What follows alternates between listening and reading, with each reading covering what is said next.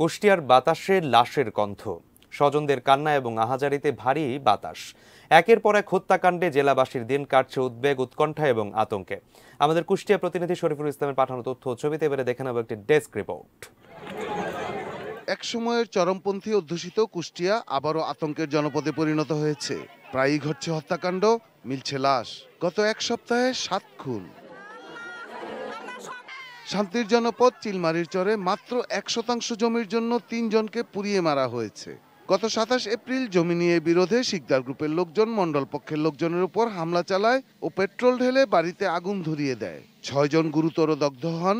তাদের মধ্যে আক্তার মণ্ডল ও দিনু মণ্ডল তিরিশ এপ্রিল ঢাকায় চিকিৎসাধীন অবস্থায় মারা যান। বৃহস্পতিবার শেখ হাসিনা বার্ন ইনস্টিটিউটে মারা যান দিনু মণ্ডলের ছেলে ফারুক মণ্ডল। বের হলে আর কি কোপাবে আর বাইরে ভিতরে থাকলে আর কি মানে আগুনে পুড়তে হবে এরকম একটা অবস্থা। তো আগুনে পড়ার থেকে তো মানে কোপ খেয়ে থাকা অনেক ভালো। ফ্যামিলির মধ্যে আষ্ট জন আর পাঁচজন আট পাঁচ তেরো জন জমা হয়েছে। আমার ছেলে পুজো মরে গেছে ফাঁসি চাচ্ছি আমি। লাশ নিয়ে মানববন্ধন ও বিক্ষোভ মিছিল করেছেন এলাকাবাসী। এরই মধ্যে মঙ্গলবার সন্ধ্যায় পদ্মার বালুচর থেকে উদ্ধার হয় এক যুবকের মৃতদেহ।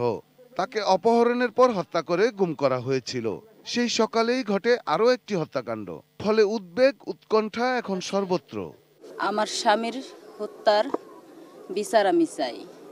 আমার স্বামীর মৃত্যুর বদলে আমি মৃত্যুই চাই। সুষ্ঠু তদন্তের মাধ্যমে দোষী ব্যক্তিদেরকে আইনের আয়তে আনতে হবে।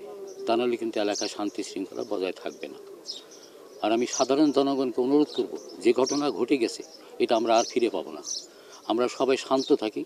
হত্যাকারী ও সন্ত্রাসীদের গ্রেপ্তারে পুলিশ তৎপর। তবে দুর্গম চরে অভিযান চালানো কঠিন বলছে পুলিশ।